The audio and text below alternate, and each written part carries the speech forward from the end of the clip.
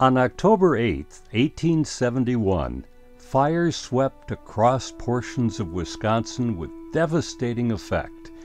Often referred to as the Peshtigo Fire, large areas on both sides of Green Bay were destroyed. Most people know of the Chicago Fire that occurred on the same day. Few people realize that the fires in Wisconsin took five times as many lives, left thousands more with nothing, and burned 1.3 million acres.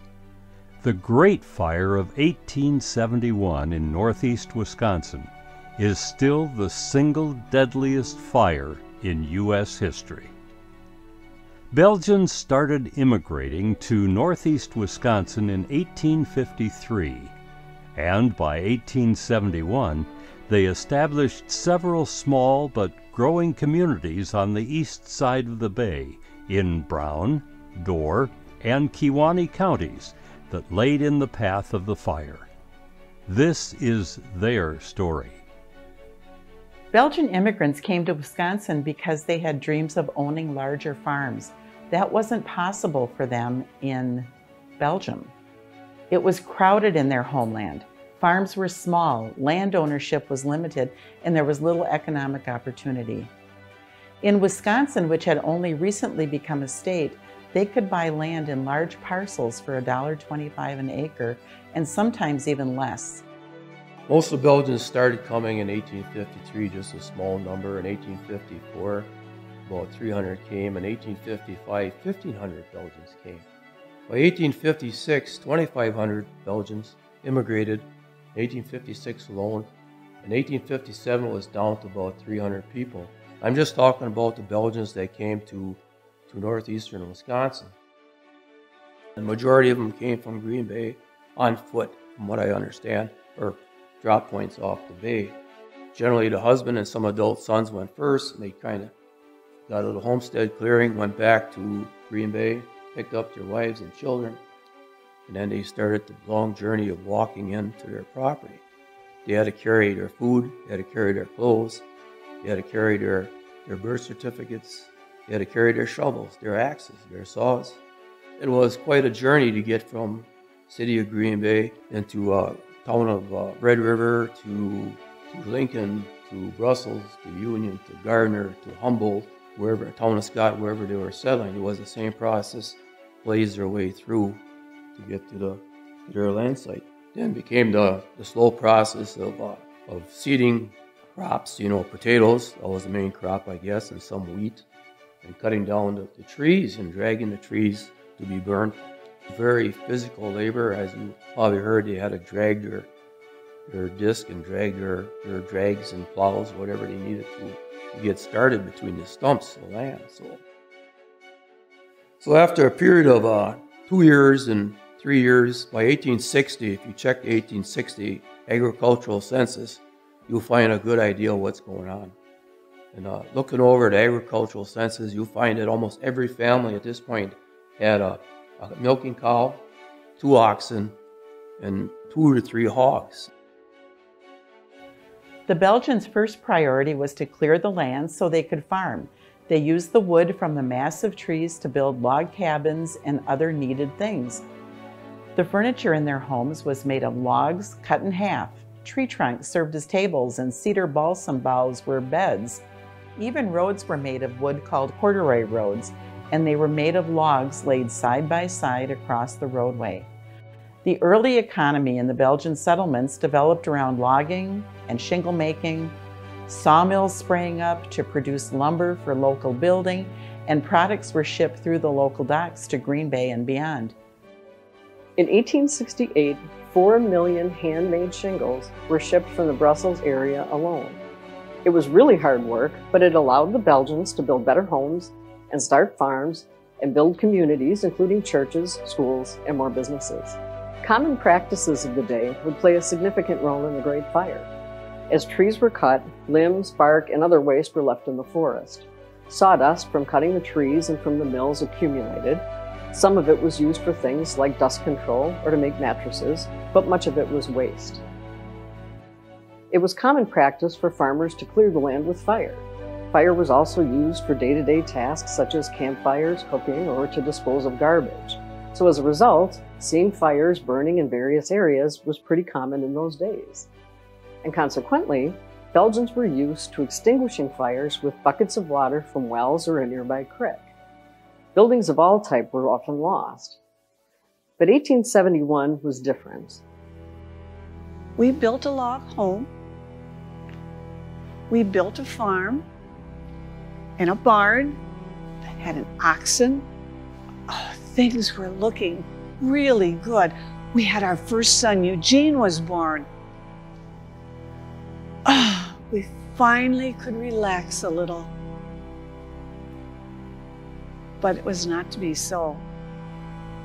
You see, the year was 1871. It was a dry, dry year. There hadn't been any snow in the wintertime. There hadn't been any rain of any amount prior. It was so dry that you could walk through the swamps and your feet wouldn't get wet. There had been fires burning all over for months. There was a fire here, a fire there. Cedar logs were going up over there. Fences were going. All of a sudden, a shingle mill would go up in smoke. You see, everything, everything, everything was governed by trees and wood. The roads were corduroy roads, which were logs side by side. So if they burned, there was no escape. You couldn't get anywhere. The sawdust was in piles, and sawdust was used to keep the dust down. Farmers were lighting fires to get rid of the slashings, which were the tree branches. So they would light fires to clear their land and not really pay real close attention to them. So that added to the problem. The hot, dry conditions disrupted preparations for the coming winter. Fall activities, such as smoking and drying meat, making soap, scalding chicken, and rendering lard, increased the risk of a fire. Children were sometimes stationed nearby to make sure sparks were immediately put out. Attending school became secondary to protecting the home. The grandfather uh, said him and his family, his dad and mother, they were quite old, they started with sickles and started cutting the long dry grass that was around their buildings. The barn, the pig pen, all the, their little buildings, the chicken coop. Well, it gets to be that you're careless and the, the grass grows around it. And that was a good thing for fire. The fire least likes the, the dry grass. And they got to work and the neighbors were together and they all worked hard to get that old grass taken away from the buildings and in late September, there were fires at the mills in the New Franken town of Humboldt area. Lamb, Watson and Company, a logging and sawmill operation in the area of New Franken, would report that two logging camps had burned, losing numerous choice logs. All day and night, the crews worked with teams to haul water and fight fires. A farmer reported the loss of a threshing machine, large amounts of wheat, a barn, and animals. More would lose their homes, fences, logs, and cordwood. The wells were mostly dry, making it difficult to fight the fires. There was increasingly an ominous glow of fires in the distance, and the smoke in the air was so thick that it was difficult to see and breathe. Steamboats on Green Bay and Lake Michigan constantly sounded foghorns due to the poor visibility. The danger is not yet over. In fact, the fresh winds which have prevailed during the past three days have given it new impetus. And in Pierce, Ahnapee, Casco, and Lincoln, it has been more threatening since Sunday the previous week. During yesterday and today, our village has been enveloped in smoke so dense that it is impossible to see any object a mile distant in any direction. There is a rumor that the fences of 18 farms in Bay Settlement have been burned. A schoolhouse in this town was burned. We understand that the Catholic Church in the Flemish settlement, together with the priest's house and other buildings, are greatly endangered. These fires were just the beginning of the devastation.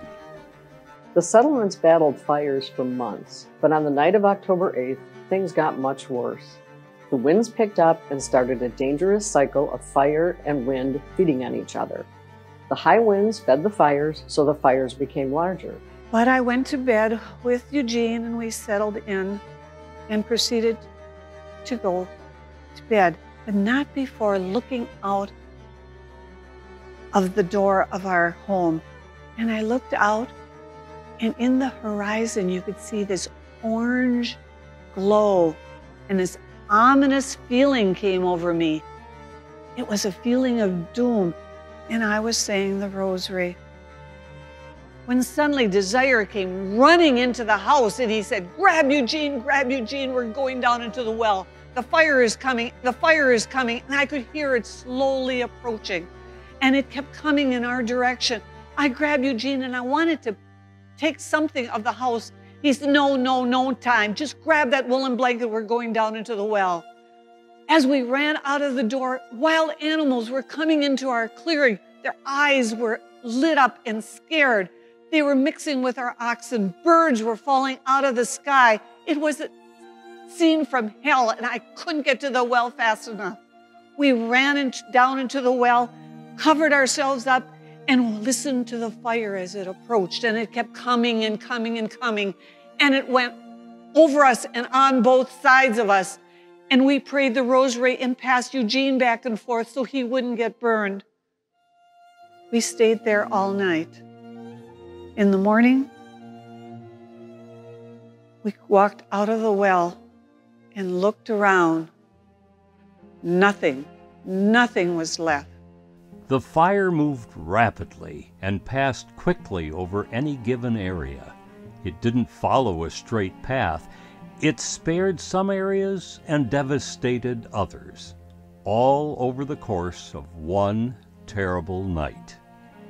People ran down into a well. The bottom five lived, the top two died. Mrs. Williamson was running to the potato patch also. But for some reason, she didn't go there. She stopped a few feet and found a couple of stones and for whatever reason, she put her feet in the stones and covered herself up with a blanket.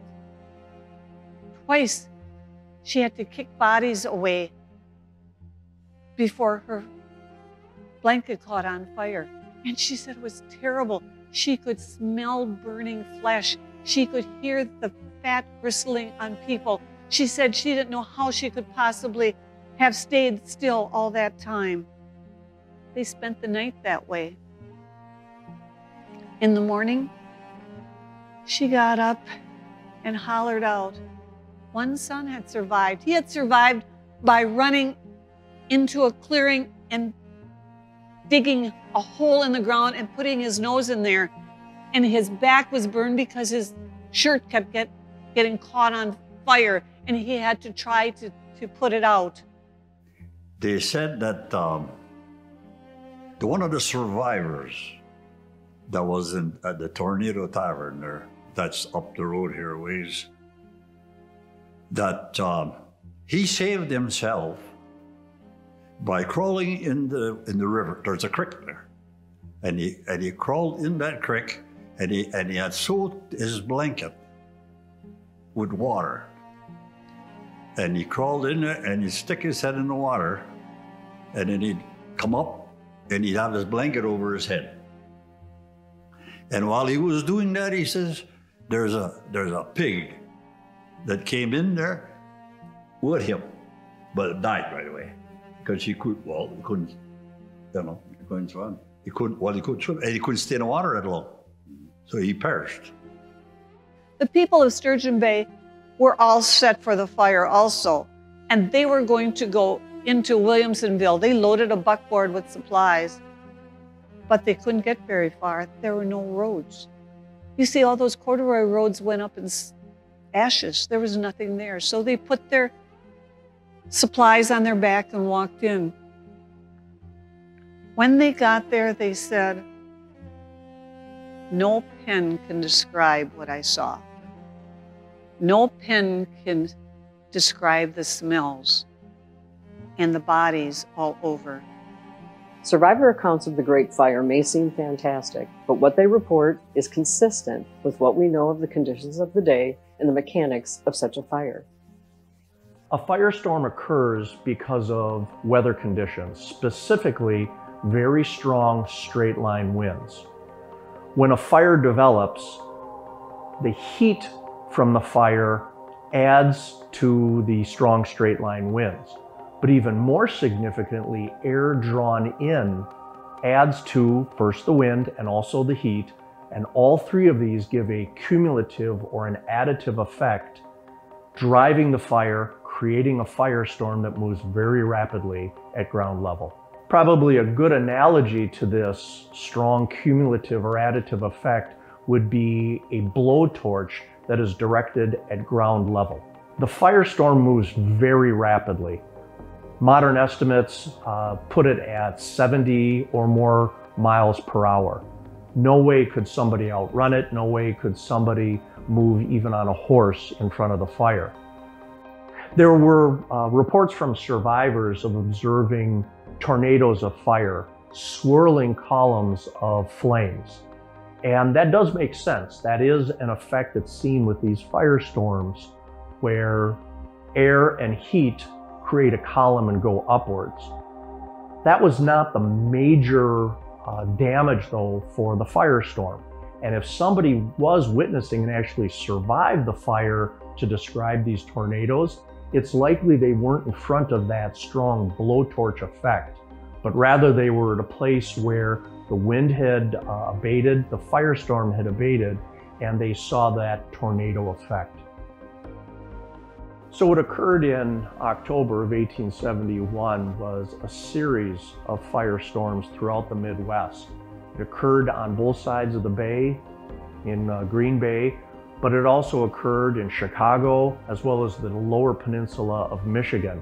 Numerous cities as well as forests burned there. But they were all due to the same causes, drought and a strong straight line wind, as well as negligent use of fire that created all of these simultaneous fires throughout the upper Midwest. I think it's a historical inaccuracy that the fire jumped the bay. Again, this fire was all about the wind, and the wind was moving from the southwest to the northeast. That's very well established. So it really is physically impossible for burning debris from the west side of the bay, the Peshtigo area, to go to the south against the wind into Door County and even into Brown County, where the village of New Franken was burned to the ground. And even on the west side of the Fox River, Fort Howard, what's now the west side of Green Bay, fire occurred. So, very simply, it would have been impossible for burning debris to get carried against the wind. Certainly, debris would have been thrown far into the air, far beyond, but it would have been in the direction of the wind. I've seen numerous people who have lost their homes due to fire. And after the fire, these people are trying to uh, recover. Well, they've got neighbors, family, and friends who are in a great position to help them out. But when there's a great disaster, such as what happened in Northeast Wisconsin in 1871, everybody is equally devastated, and the psychological trauma extends throughout the community. And their ability to function, whether it's one person or an entire community, really is compromised. And that's why the outside help is so important. It's, it's an absolute imperative to recovery. Many people, even those as close as the city of Green Bay, heard about the Chicago fire before word of the tragedy in Wisconsin reached them. Survivors in the Belgian settlement had no way to get word of their condition out, so they congregated together, waiting for help. They were injured, traumatized, and needed food, clothing, and shelter. But getting relief to the victims took days and weeks because telegraphs were down and roads were burned or covered with debris and the bodies of people and animals. We looked to the east, and there were the Huysmans coming slowly towards us. They looked like scepters of death. They were bl- all blackened with soot. Their eyes were reddened and crazed looking. They didn't know what to do. You see, it was October and winter was coming. What were we going to eat? We had no idea what we were going to do. So we stayed, and I remembered that we had planted gardens, and so had Mrs. Huysman. So we went and dug up the gardens and took the potatoes and the turnips and things that we had planted so we had something to eat for a while. You see, it was also the same night I found out as the Chicago fire. This huge city was burning. What did they care about little Namur and Brussels and all of our little villages? But they did. The governor of Wisconsin was on his way to Chicago with a trainload of supplies. But his wife, Mrs. Fairchild, did something that I'm so proud of her. She commandeered the next trainloads and said, No, you're not going to Chicago. You're staying and helping the people of Wisconsin. A woman had never taken over like that before. It was something really, really wonderful. If wonderful can be the word. We received $5,000 from the people of Belgium. They started setting up aid stations all over. But you see, you couldn't just go and ask for money. You had to prove that what you lost was worthy of getting provisions. Just a few burned fences was not going to do it. You also had to work for your provisions. You couldn't just put out your hands and receive things. Funds came from across Wisconsin, the U.S., and around the world, including the Belgian government and its citizens. Donations of clothing, farm implements, bedding, medical assistance, and food came in. Relief committees were formed. For the great majority, however, Belgian neighbors would provide shelter for people and livestock as farms and homes were rebuilt. Many built rough shanties to get through the approaching winter and got their farms ready for planting in the spring. It wasn't until May of 1872, seven months later, that sufficient rains returned to replenish the parched earth. And in May, the government said, that's it. It's six months from the time of the fire. They said, no more are you on the government dole with your own good right arms. You go out and earn a living. And that's what we did. We looked around and we thought, oh, all of these huge trees that were there are no longer there. We can farm. The tragedy of the fire gave way to a transformation of the Belgian settlements. The massive trees that hindered the Belgians' dream of farming were destroyed, and conditions for agriculture were greatly improved. The Belgians adapted and rebuilt. Oh, but this time we weren't just building them of logs. Mm-mm. We built them of logs, but then we put red brick on the outside. You see, there was a lot of red clay in our soil, so we could make these red bricks. We built our homes, and we also put in a little porthole in the gables of the home. You see, we were going to use that as a lookout so that we could go up in the highest point of our house and look afar and see if another fire was coming. It has been almost 170 years since the first Belgians arrived and 150 years since the Great Fire.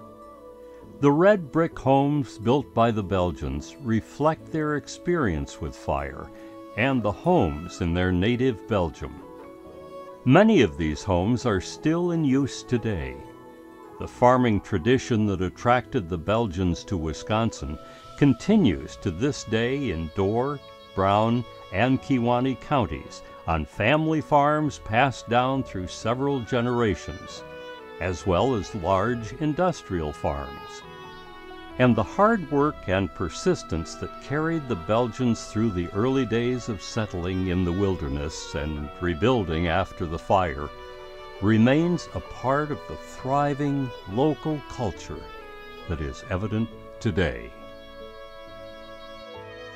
With perseverance and faith and good, strong right arms, we prospered and we went on to earn a living.